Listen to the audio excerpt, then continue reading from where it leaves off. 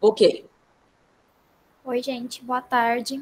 Para quem não me conhece, meu nome é Lara, sou enfermeira, R2 de terapia intensiva, e hoje eu vou falar sobre o TEV, tromboembolismo venoso. Então, é, eu primeiro coloquei aqui para a gente as principais funções do sangue. Acaba que todas elas culminam em uma só, que é o transporte, né? Mas a gente tem as células de defesa, né, que saem de dentro do sangue quando o vaso altera sua permeabilidade. Elas fazem essa diapedese para elas chegarem nos tecidos e elas são transportadas pelo sangue, né? A gente tem a hemostasia, que evita que a gente perca, né, um grande volume de sangue e transporte de outras substâncias, né, como oxigênio, fármacos que a gente administra, é, escórias metabólicas, etc. E aí, para falar sobre trombose, a gente precisa falar sobre coagulação. E eu acho esse esse é, esse gráficozinho, esse desenho um pouco complexo, sabe? E como a Fernanda pediu para que a nossa apresentação aqui fosse mais voltada para a realidade das clínicas, para a nossa prática, eu, apesar de ter estudado esse desenho, não vou falar tão aprofundadamente dele, até porque nossa aula não é sobre essa cascata. E aí eu trouxe uma via resumida. O que, que acontece? Nós temos três vias na cascata de coagulação. A via intrínseca, que ela acontece quando o sangue tem contato com a superfície lesionada de fora, o endotélio do vaso, e esse endotélio tem colágeno. E aí o colágeno do endotélio quando em contato com o sangue, ativa o fator 12, que é um dos fatores mais importantes da coagulação, junto com o fator 10.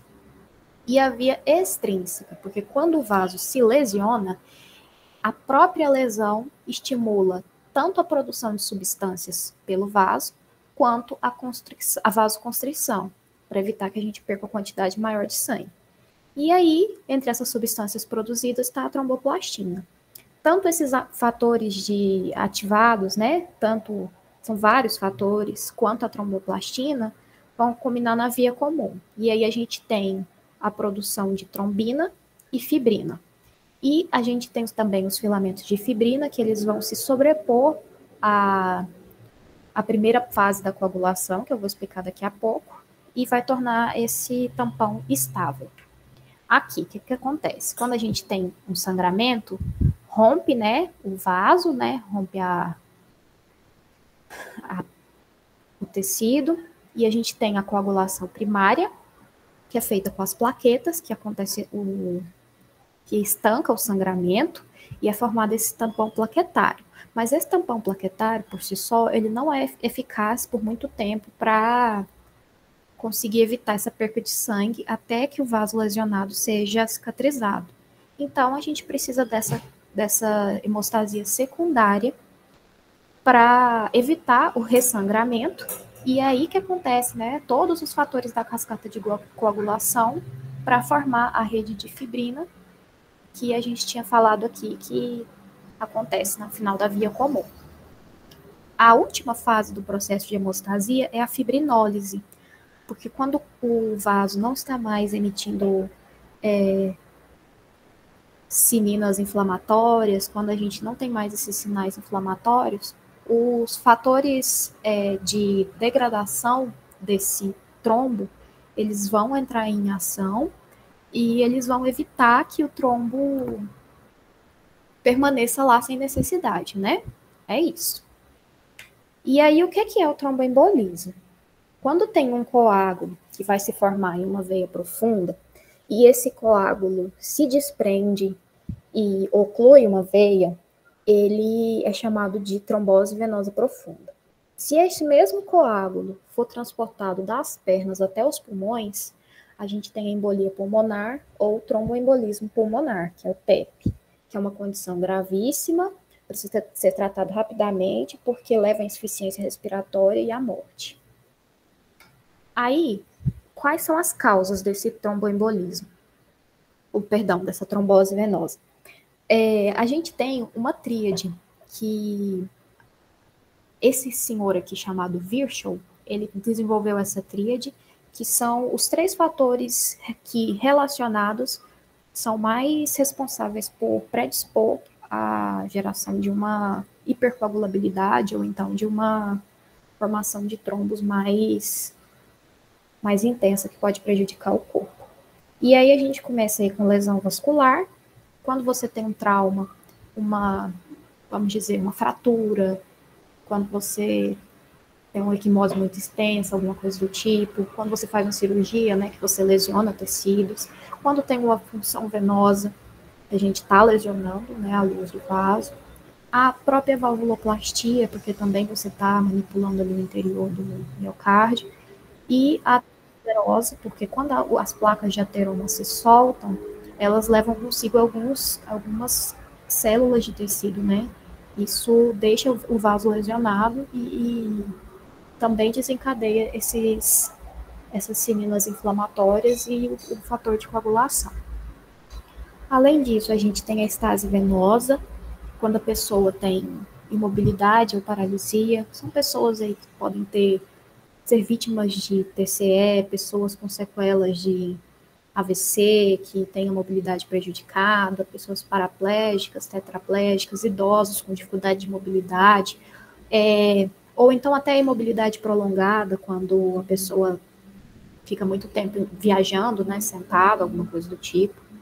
Quando você tem um tumor também, que está obstruindo ali algum vaso e, e propiciando essa estase, é, a gravidez também dificulta um pouco o retorno venoso, as grávidas tendem a ter bastante edema, membros inferiores, é, é uma, uma condição que propicia. E disfunção ventricular ou fibrilação. Por quê? Porque quando a gente tem essa fibrilação, o, o sangue não, não é transportado de forma eficiente. É como se sempre ficasse um resíduo de sangue no, no ventrículo. E esse resíduo de sangue, esse sangue acumulado lá, ele pode vir a se tornar um trombo. E por último, o estado de hipercoagulabilidade, que são estados ou condições que a pessoa pode ter que deixam ela mais predisposta a desenvolver coágulos. Se a pessoa está em terapia de reposição hormonal, se está em uso de anticoncepcional, se é uma pessoa que está fazendo tratamento para câncer, se está na gravidez ou no puerpério por causa da liberação de hormônios acentuadas. Mais uma vez aí os traumas e cirurgias como mais um fator de risco, né? Se a pessoa tem síndrome nefrótica, se está com sepse, que a gente tem a tal da coagulação intravascular disseminada, vamos falar disso mais à frente, e a trombofilia. Aí, mais uma vez, falando dos fatores de risco, idade avançada, tratamento quimioterápico, se a pessoa também não tem uma boa adesão ao tratamento e faz uma interrupção súbita de alguma terapia anticoagulante, é, pode, pode ser considerado um fator de risco também. E aí eu coloquei aqui os fatores que causam maior reatividade e causam também deficiência na produção da, desses trombos, né, dos fatores de coagulação, da trombina, é, protrombina, etc. Quando você tem uma infecção, um processo infeccioso em curso, até porque você tem lesão de células, né? Quando você tem um, um procedimento pós ou um período pós-cirúrgico, pós-esplenectomia, que também entra em pós-cirúrgico, né? Algum tipo de malignidade, com hemorragia, doença mieloproliferativa, são todas condições que podem estar tá aí acometendo a gente e aumentar a reatividade para formar esses trombos. E também tem a deficiência de produção de trombos, né, que é a trombocitopenia, e a condição que a pessoa fica aí com risco de sangramento aumentado, que tem alguma deficiência da, nutricional, doenças da medula, é, medicações, álcool, doenças autoimunes, coagulação intravascular disseminada, que é como se você, entre aspas, gastasse todas as, todas as suas é, plaquetas, né? E o hiperesplenismo. E aí, quais são os sintomas? Existem casos que até mesmo essa trombose, segundo a literatura, pode ser assintomática. Mas, no geral, não é. No geral, ela tem alguns sintomas que podem ser específicos ou inespecíficos. Primeiro de todos é a dor. Se a pessoa está com uma dor no membro, você vai também pensar em trombose. Se tem uma hiperemia, cianose, principalmente se não for bilateral, se ela sente dor ou emplaçamento muscular durante a palpação do membro, sendo que, de acordo com Brunner, em 87% dos casos essa dor está presente, então é um fator aí considerável. Se tem essa dilatação venosa superficial, assim como aí na imagem da direita, e se a pessoa está com limitação de movimentos, até porque faz sentido, né, que a pessoa com dor, edema, etc., vai ficar com movimentos mais limitados. E aí eu coloquei aqui como funciona um retorno venoso normal, que a gente tem as válvulas nas veias que fazem o retorno, ajudam no retorno venoso para evitar que esse sangue que já está subindo contra a gravidade tenha mais dificuldade de retornar. Só que quando essas veias, elas, essas válvulas, perdão, elas ficam meio prejudicadas, até mesmo pela idade, por condições que não são ideais de, de atividade de vida diária, é, tipo, pessoa que tem uso de drogas ou então obesidade, etc., pode ficar prejudicada essas, essas válvulas. E aí a gente pode ter esse acúmulo de sangue e de células é, nessa parte lateral das válvulas. Isso propicia a estase venosa, que como a gente já viu, tá na tríade de Virchow, né? É um dos fatores que pode ser causadores de trombose. E é o que geralmente acontece. Cria esse êmbolo, esse êmbolo é transportado, quando ele vai para uma veia mais profunda, calibrosa, ele é chamado de trombo, que vai obstruir essa veia. Também tem um, um caso que a gente fala sobre a flebite e tromboflebite. É, qual que é a diferença? A flebite é uma inflamação de um vaso comum, e geralmente esses vasos são mais periféricos e mais superficiais, e ela tem uma área menor. A tromboflebite é quando tem essa inflamação, com obstrução de circulação, não só inflamação, tem essa obstrução, mas também veias superficiais.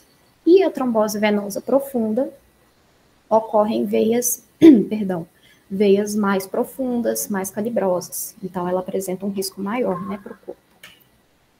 E aí aqui, como eu já tinha falado, a diferença entre o trombo e o êmbolo, o trombo que é o coágulo, que ele está lá quietinho, e o êmbolo que ele se transporta, que é o trombo que parte dele ou ele todo se transporta e é arrastado pela corrente sanguínea e vai obstruir outro vaso.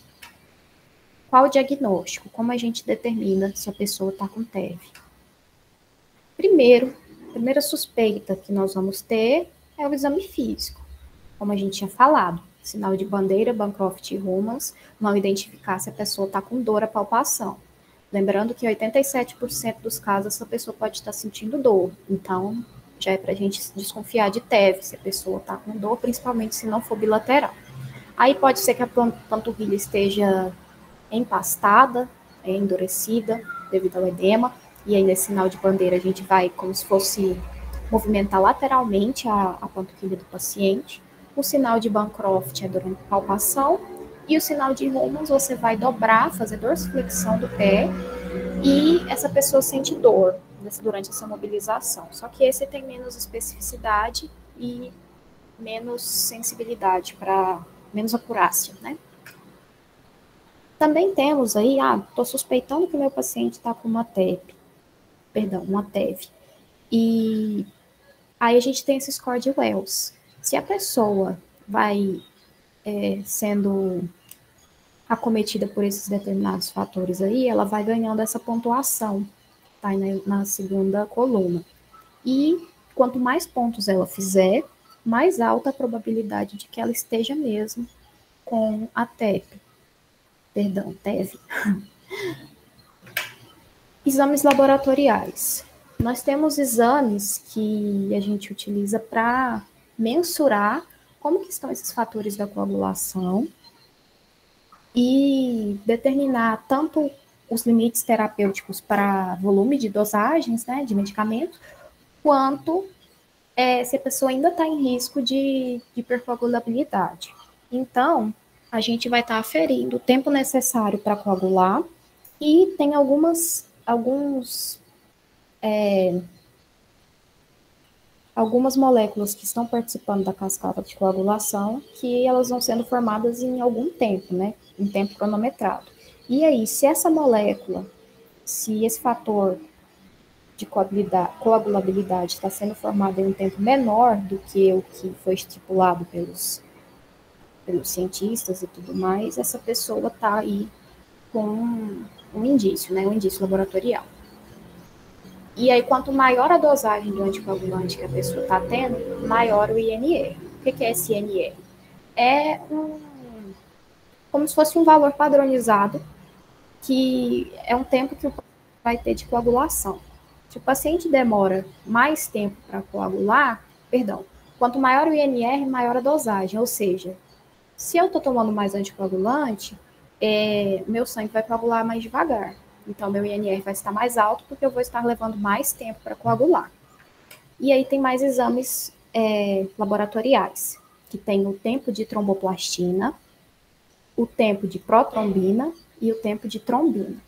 Nós temos aí os, o momento das vias de coagulação da cascata em que esses elementos se encontram, né? E quanto tempo demora para formar essa tromboplastina? Quanto tempo demora para formar essa trombina? E quanto tempo demora para formar protrombina? protrombina?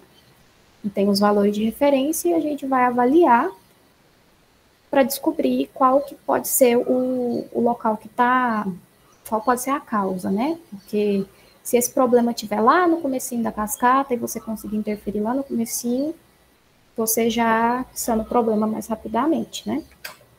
Tem também os exames de imagem, que o mais, mais utilizado é o Doppler venoso colorido, e avalia a ecogenicidade e compressividade venosa. Como as veias elas não têm é, a mesma estrutura anatômica e também não tem a mesma pressão de sangue que as artérias, quando você comprime uma veia, ela se colava. Mas a veia que está com TEV, é, quando é comprimida, ela não é colabada. Isso aí é um indício. Quais os tratamentos? A gente tem o um manejo farmacológico e tem o um manejo endovascular. Os objetivos principais são, principalmente, primeiro de todos, prevenir a ocorrência de TEP, que é a maior complicação da TEV, prevenir a progressão desse tomo e aliviar a estase venosa, até porque o paciente fica se sentindo dor, fica desconfortável. E nós temos aí a heparina fracionada e não fracionada. Qual a diferença? A heparina fracionada, ela é desenvolvida em doses menores. Ela potencializa a tanto uma quanto a outra potencializa a ação da antitrombina, então impede a formação da trombina e elas vão atuar aí diminuindo o diminuindo a a incidência da cascata de coagulação, né? Outro tipo de medicamento que a gente tem são os comarínicos, que são antagonistas da vitamina K. Por quê? Porque a vitamina K, assim como o íon cálcio, são indispensáveis para que a gente possa ter aí desencadeada a nossa cascata de coagulação. E entre os mais famosos temos aí Marevan, Varfarin, Marfarin, também tem manejo clínico que é feito intra-hospitalar para trombólise, mas aí é diferente, né? Você, você evitar a coagulação é você evitar que se forme um trombo. A trombólise é o trombo já está ali, já foi criado, e você quer, vamos dizer assim, dissolvê-lo, né? E também tem a síndrome pós-trombótica, perdão, é uma consequência que muitas vezes acontece com as pessoas depois da TVP, porque é, às vezes essa insuficiência venosa que acontece no momento da no momento da crise, na, no agudo, né? Ele, ela não passa. Então, vamos supor, se algum tecido ficou esquemiado, se varizes foram né, mais intensificadas, se a rede venosa que já estava prejudicada for ainda pior, essa pessoa pode desenvolver úlceras, o edema fica piorado porque o retorno venoso vai estar tá mais dificultado. Enfim, é uma condição que pode acontecer e nós, como enfermeiros, vamos atuar aí tanto na orientação quanto na prevenção e para identificar essa síndrome também, né? E falando agora da diferença do tromboembolismo venoso para o tromboembolismo arterial. Então, as tromboses arteriais, obviamente, são as que acontecem nas artérias. E as tromboses venosas nas veias. Aí a gente precisa lembrar da nossa, da nossa é, circulação, que tem a grande circulação e a pequena. As veias saem do coração, são, são os vasos que deixam o coração, perdão, são os vasos que retornam ao coração e as artérias deixam o coração. As artérias vão em direção à periferia e as veias levam sangue retornando para o coração. Para quê? Retorna para o coração, passa do átrio para o ventrículo direito e de lá para a artéria pulmonar e para ele ser oxigenado. Por isso o risco maior de TEP, porque ela vai da periferia depois para o pulmão. E já no caso da trombose arterial, a gente tem um sangue que está indo do coração para as regiões periféricas. Mas a gente precisa lembrar que regiões periféricas não necessariamente são só os membros, né? Nós temos esse sangue saindo das artérias, indo para o cérebro, indo para as coronárias. Então aí a gente tem o risco, né, de infarto, ou então de é, síndrome coronariana aguda e o risco de AVC isquêmico.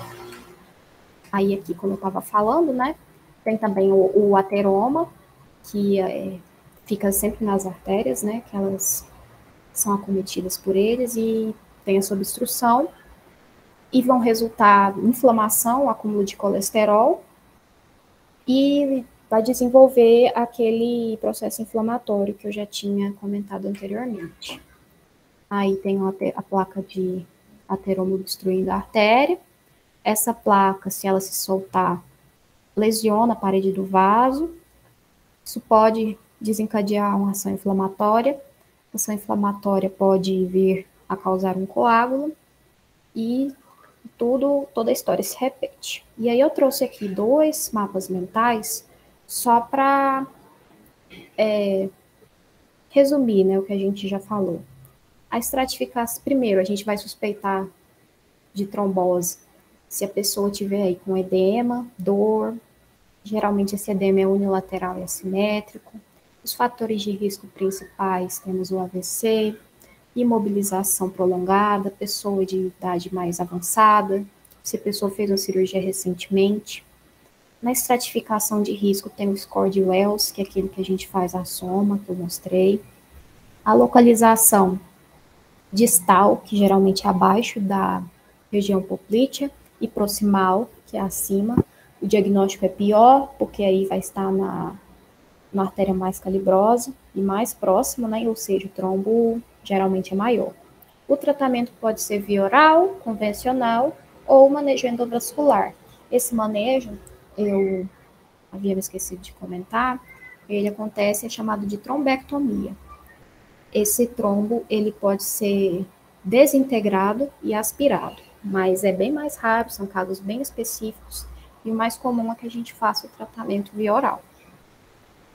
Os exames que a gente vai ter para identificar são ultrassom, angiorressonância, o dedímeros. Nesse dedímeros a gente vai usar para excluir ou afastar a TVP e venografia, mas o mais comum, como eu falei, é ultrassonografia de veias com colorido.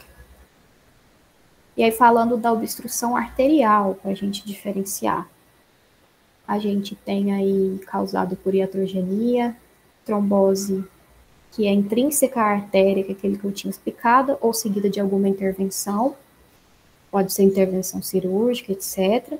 E essa é uma doença que ela é, imediatamente vai ameaçar uma extremidade, ela é mais grave, precisa ser avaliada e o tratamento muitas vezes é feito no centro cirúrgico. E a conduta é fazer ou o diagnóstico, perdão, arteriografia, angio-TC e, na maioria das vezes, terapia trombolítica, que é diferente de evitar o trombo. Neste caso, o trombo já existe e a gente precisa desfazê-lo. O diagnóstico, a gente sabe, né, história, exame físico, neurológico, os fatores de risco para desenvolver insuficiência renal, doença arterial obstrutiva periférica crônica, hipercolesterolemia, diabetes, pressão alta. Apresentação clínica são os famosos 6 P's, que é PEN, dor, palidez, parestesia, paralisia e pulseless, que é quando você tem o pulso ausente. Muitas vezes ele pode estar também filiforme. E a perfusão, né? E falando mais da nossa área de enfermagem, quais são as principais intervenções que a gente pode ter, além da, da questão de fazer os scores e tudo mais? A gente pode orientar o paciente e a família com a linguagem acessível, porque muitas vezes é, eles ficam muito ansiosos, porque quando se fala de trombose, a pessoa já pensa, meu Deus, eu tô com trombose na minha perna, vou perder minha perna, vai ter que amputar. Então é nosso papel tanto identificar né, precocemente com o nosso exame físico, com mais acurácia, quanto é, conversar com essa família, com esse paciente, utilizar uma linguagem acessível, para favorecer a adesão ao tratamento e reduzir a ansiedade.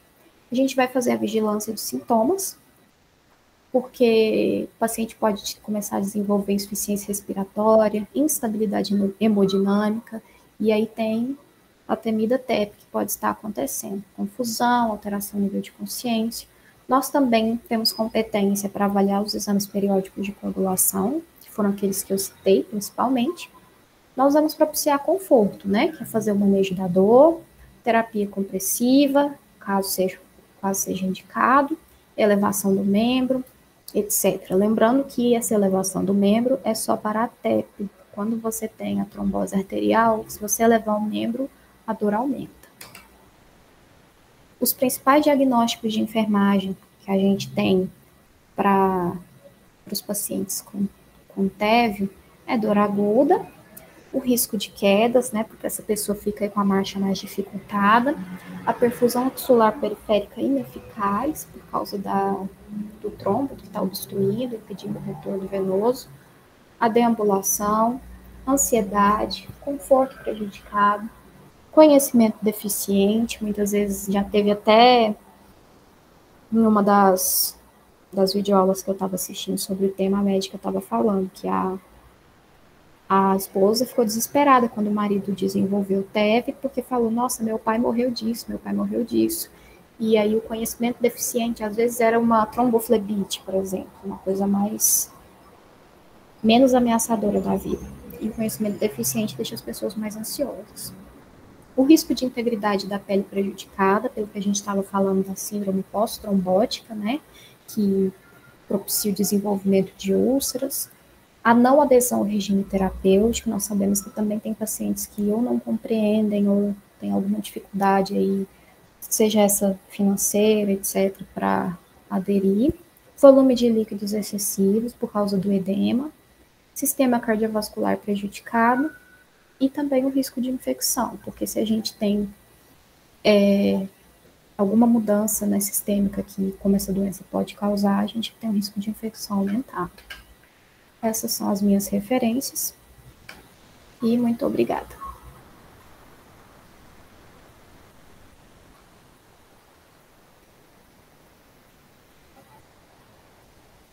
Alguém quer falar alguma coisa?